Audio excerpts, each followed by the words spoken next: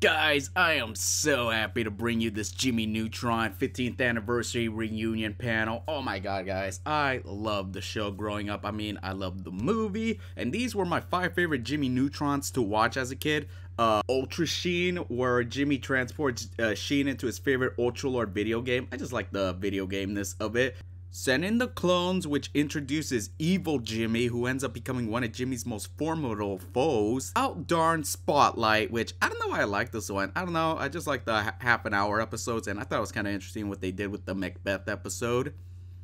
The N-Man, which, come on, who did not like this episode? And of course, the Jimmy Timmy Power Hour. Uh, you know, I I was actually, around the time the Jimmy Timmy Power Hour, I didn't have like cable at the time, which, long story, but you know, when I found out about this crossover, it's like, I gotta see this, I gotta see it, and when I finally saw it, I was like, so weird when Timmy Turner turns into like, uh, you know, goes into Jimmy Neutron's world, and then Jimmy goes into Timmy's world, it's like, ah, what a great, and what do we get? We get two more other half an uh, specials of those, thus creating a trilogy. And you know, Butch Hartman has actually uploaded what could happen in the fourth Jimmy Timmy Power. And of course, guys, you know, shout out to Mark DeCarlo who voiced Hugh Neutron, Jimmy's dad, for moderating the panel the way he does. And you know, he just had the right energy and everything. And you know, guys, they just do a lot of the voices, guys. They just did for to please us. And of course, yes, they did address what happened with Planet Sheen. And of course, uh, what else? Ooh, oh yeah, and if should the show come back? Like, should it come back? Because they really enjoy doing it. I would like to see Jimmy Neutron come back. And of course,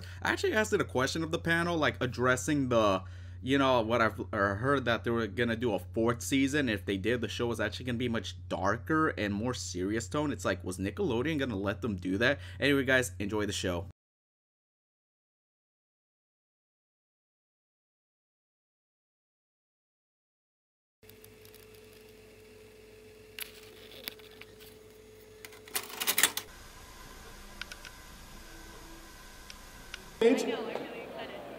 It's the reunion of the cast of Jimmy Neutron, Boy Genius.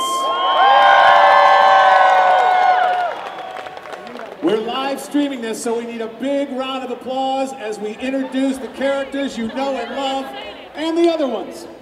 First, you know machine, it's Jeff Garcia!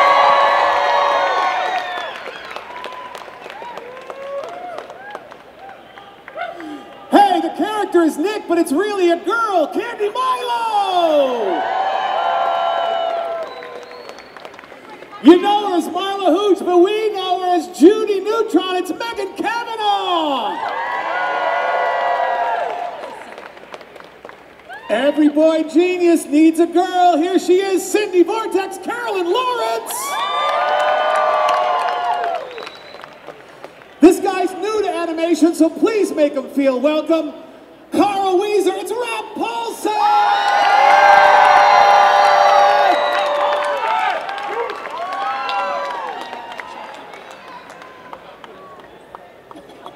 And now, the little boy that makes it happen, it's Debi Derryberry, Jimmy Neutron!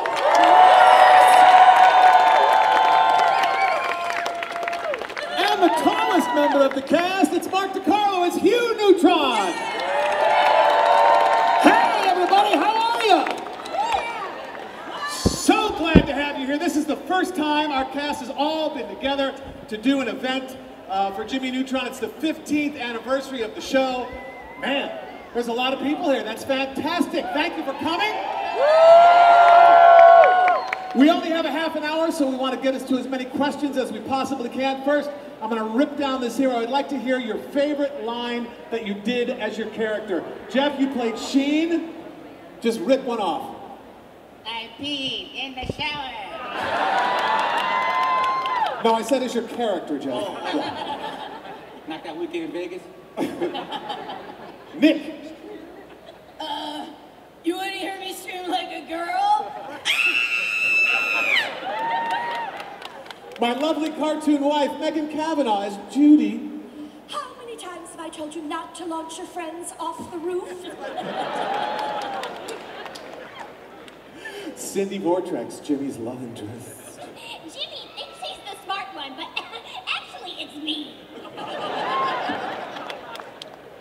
Robbie, Carl Wheezer. Ow, my scapula!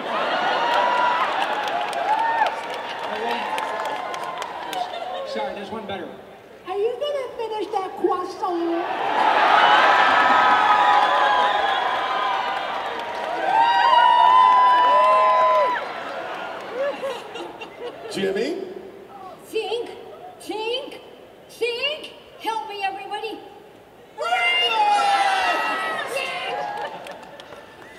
My favorite Hugh line was, yeah, Mom says you're grounded. All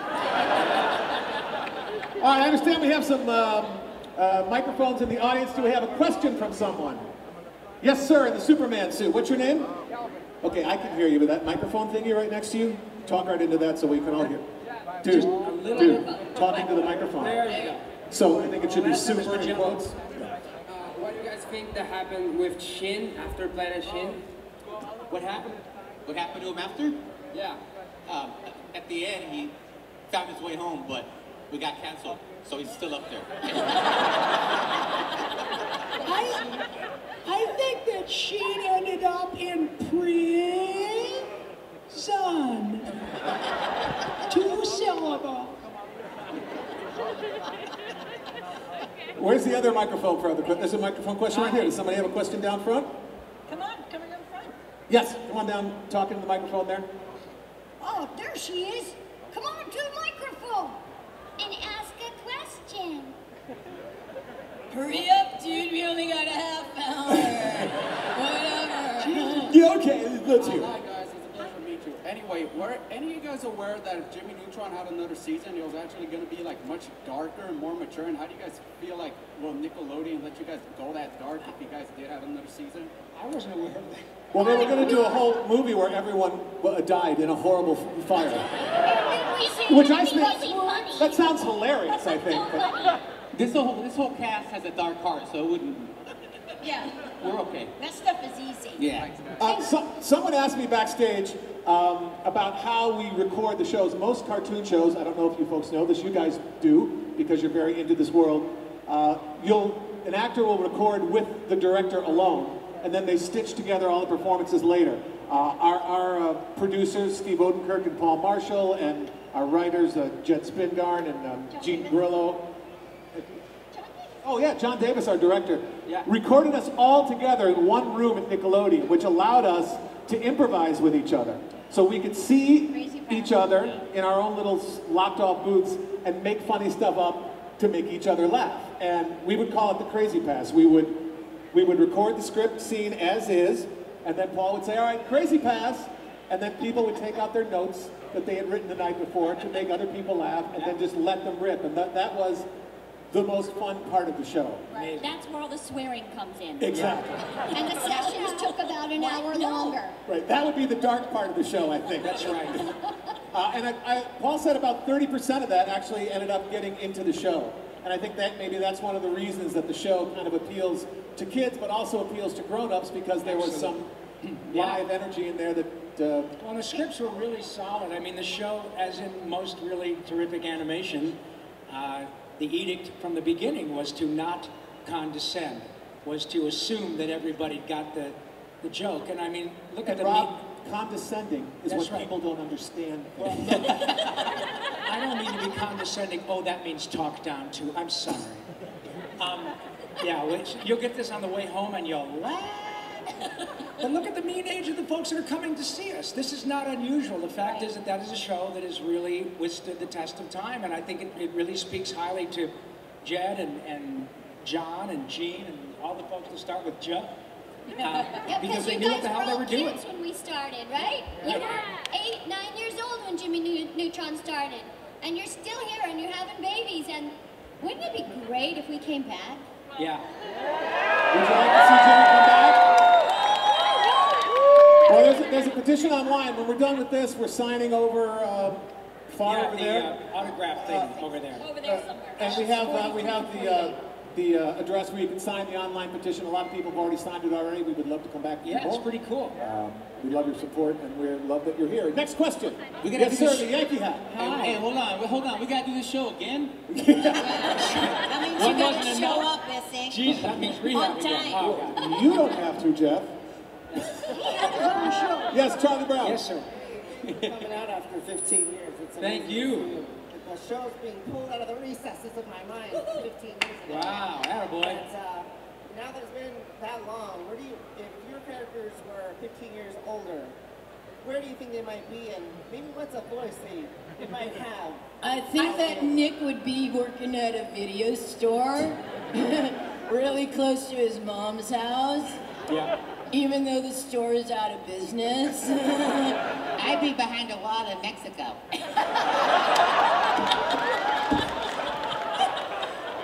I think Judy and Hugh would be divorced. Yeah. Ned Hugh would be living in Marina Del Rey having a really good time. Stewardesses dig the Hugh because they love pie. And Judy would be working for Yes. NASA. I think that Carl would probably say the following. Hi, thank you for calling Petco where the pets go. May I help you? That would be it, pretty much. And Jimmy Neutron would probably have his own company in Silicon Valley and be the one calling Petco to say, Carl, please come work for me. And Cindy would be his competitor Yeah. at the other company. But even, even Carl knows that there's a difference between silicone and silicon. Okay? I'm just saying. What do those mean? Actually, I think if Judy and Hugh were divorced, Carl will be all over that Mrs. Neutron.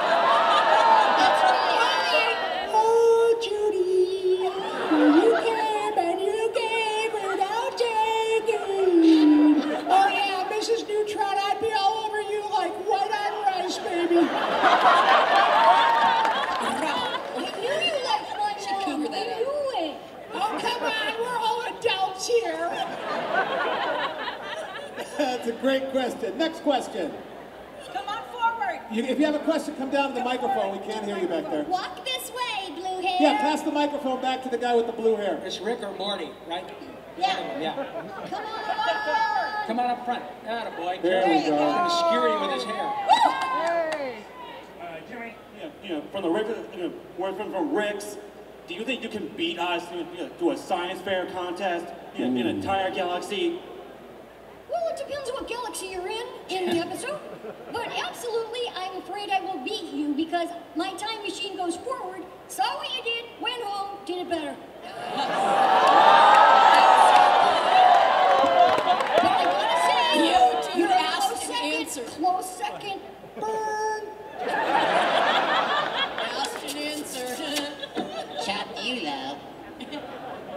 I've seen Sheen in a Ford Galaxy that goes up and down oh all that. Amazing. With amazing shots. Next question.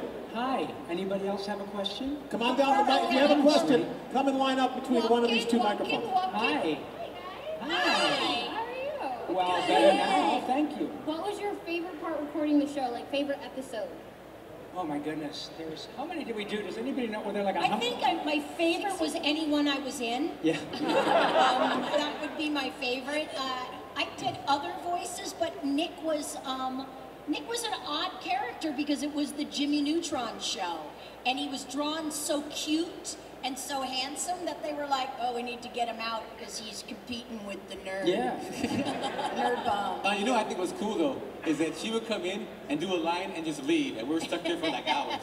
Honestly, it, it's, it was a, um, a- a- all of us have had the great good fortune of working on a number of shows, and honestly, uh, when you're working with people who are your personal friends, and they just happen to be incredibly gifted, and then you get paid to hang out with people to do something, don't tell anyone that we would be doing anyway, with people at this level, and the upshot, 15 years later, is this. Right? Look at oh, you guys. We're so lucky. Look at you. Yeah, it's a, it's a, we get how lucky we are, and it really is an awful lot of fun. You go home exhausted for four hours of, of just laughing your ass off. Yeah. We, we did a Christmas episode one oh, year. Yeah. Oh, And of course, they cast, they had to cast a Santa Claus for the Christmas episode. So who do they cast? Mel Brooks. They, if you Google Jewish comedian, Mel Brooks' picture comes up because he is a genius. So we were all informed before. Do not, do not bug Mr. Brooks. Don't ask him. Yeah. Don't do anything. Just, just let him come in and do his work. Whatever. No we all showed up. Uh, Steven Banks had a copy of The 2,000 Year Old Man. I had a giant poster from the producers. Everybody brought something. He could not have been more Gracious. gracious Yeah. And warm. And Megan had already starred in several of his live action movies. So Mel walks in and says, What does he say? I don't remember. Oh, Megan. He walks in and he sees Megan. He's like, Oh my God, Megan, do you people not know who you have in your midst? Yeah, it was pretty. When Mel Brooks is kissing your butt, that's pretty amazing. And I think his big line was, um, someone says, "Who are you?" He goes, I'm Santa. Look at my sack. My great big sack, I believe is what he said. Great big sack. Oh, and they told us, don't be asking for autographs. And we all showed up with stuff Of anyway. course, you gotta do that. We're fans, man. We Yeah. totally get it. Yeah. Yeah, and he was very gracious. He signed it Thank you know, you. to us. Thank you for asking, Great sweetie. question. Thank you. Next question. Yes, ma'am. You have one. Here's one. Come on, Go ahead. Yes, oh, your turn. You guys are all amazing voice actors. Thank you. Um, if you could have one of the other characters you voiced come into Jimmy Neutron, who would it be? I think mine would be Carl. I like the cut of your jib, Jeff. See how mine's all whiny and stringy? I want to sound like this. No, no, I, you mean another one of the characters that we're known for to show up?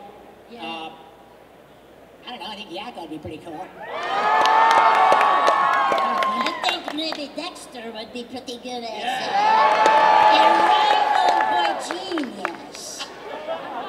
I think that maybe Draculaura should be in Jimmy Neutron from Monster High. What about Pip the Mouse from Barnyard? I was thinking about. I actually was Yeah, what would it of sound like if Pip showed up on the show? Hello, I'm the mouse.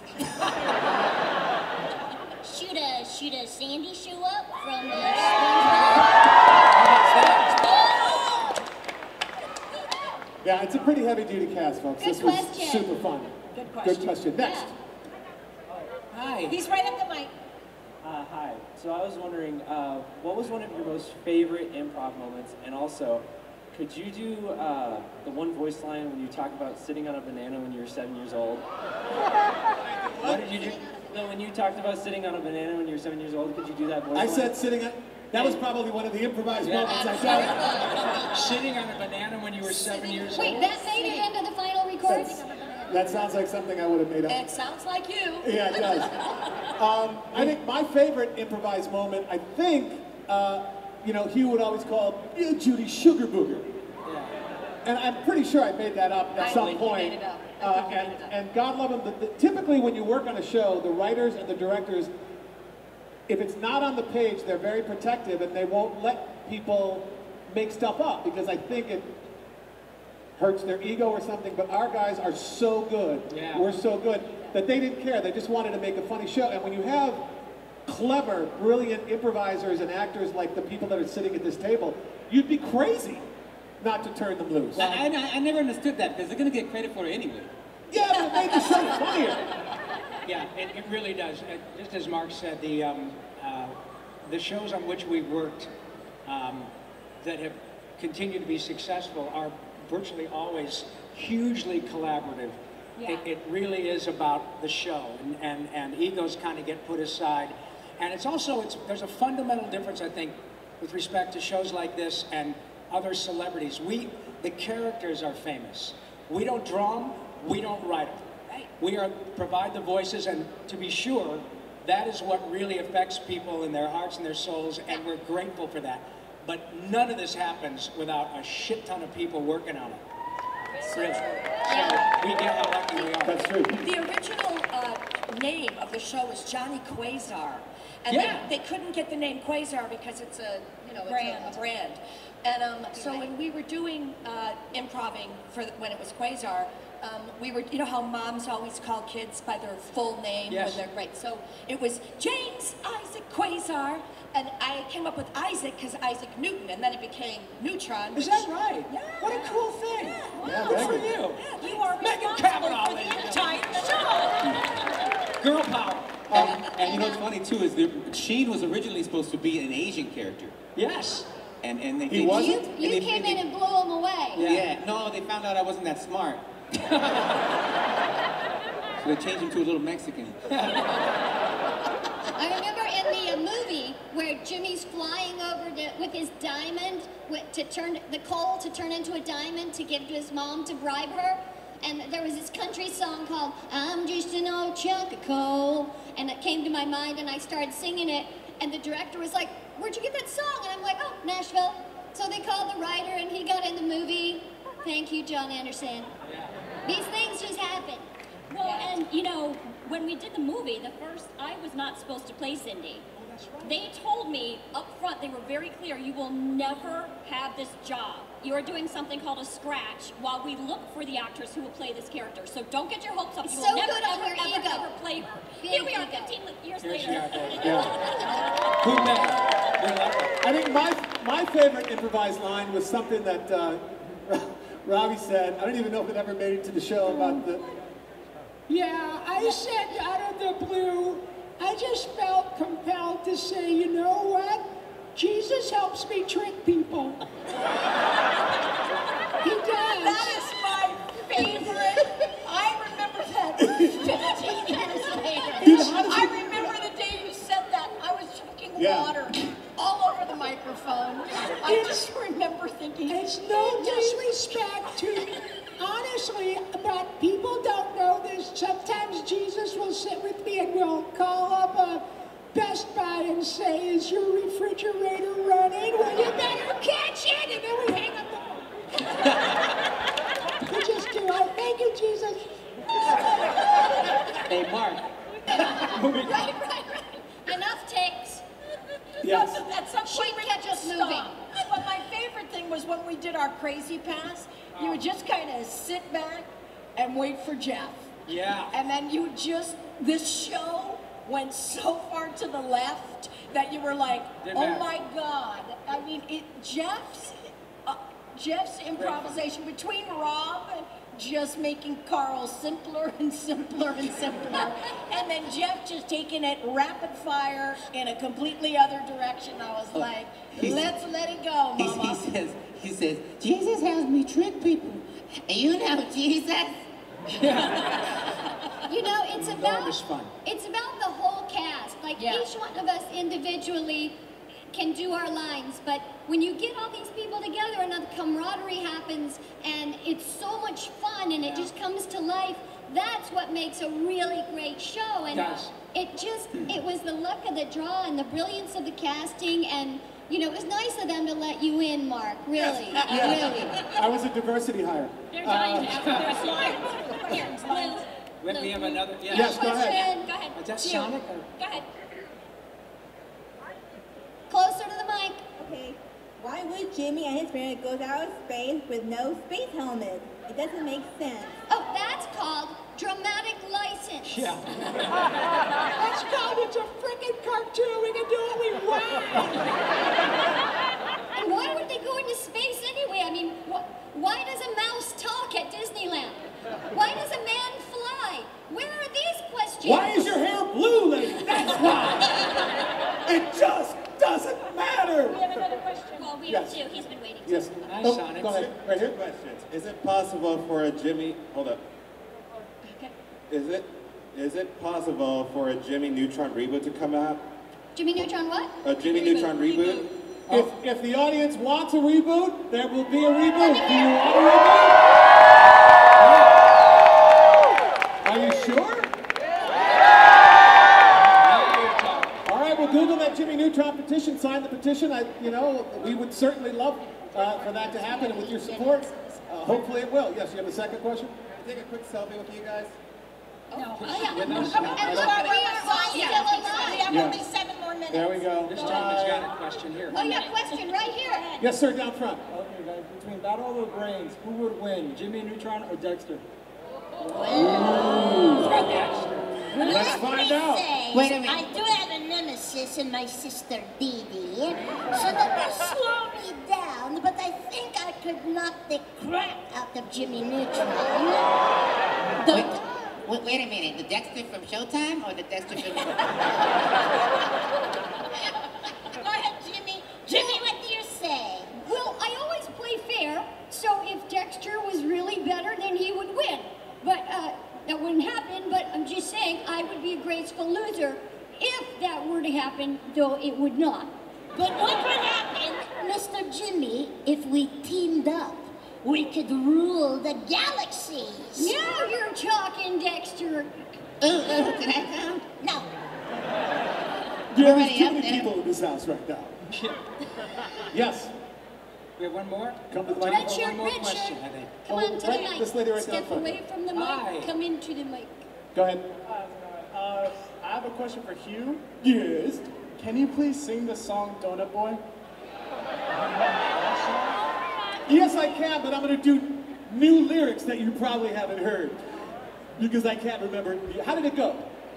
Who's that crooked cop that always get the bad guys? Donut Boy. Oh, that's right. Good Here, for you. You sing it with me. Hold on. Yeah, Hold on. now you're talking.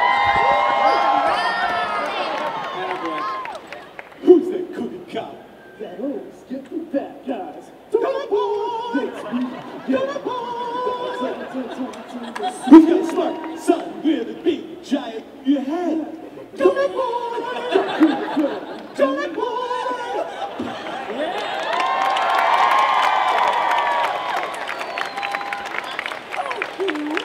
Yes, question right here. Get closer. Turquoise dress. wondering, uh, how was, like, how did it come about that you guys decided to um, record in a group setting instead of like one at a That's a good time? question. And like, how is that different than doing it, you know, in a studio uh, by yourself? Oh, it's hugely Yeah. different. Uh, I- I think that uh, one of our producers, Paul Marshall, uh, and Steve Oedekerk were the kind of genesis behind the TV. There's Paul right there. Get out. You're done. Get. Paul, sit here. There's a chair right here. Marshall. People are interested in what you have to say, Paul. Here, just sit down. There you go.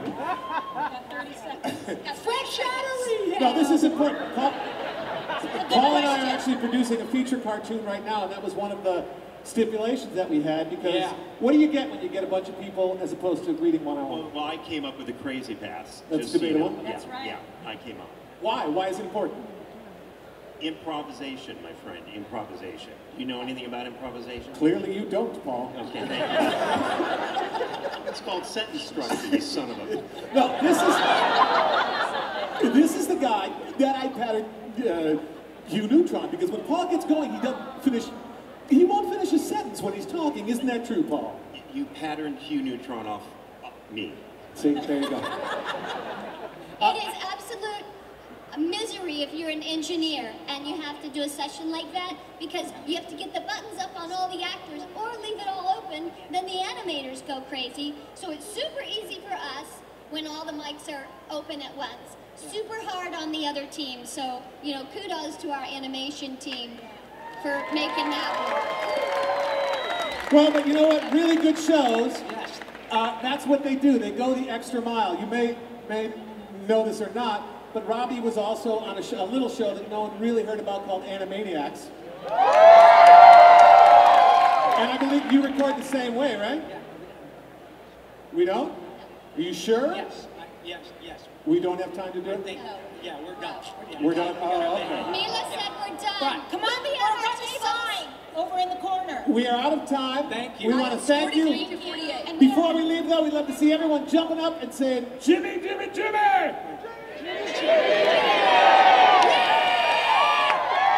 Thanks, you guys. We'll be over here signing stuff, and we'll see you later. Thank you. Thanks for a great 15 years, everybody. Thanks we'll for see watching. over. Bye, you guys. Amém.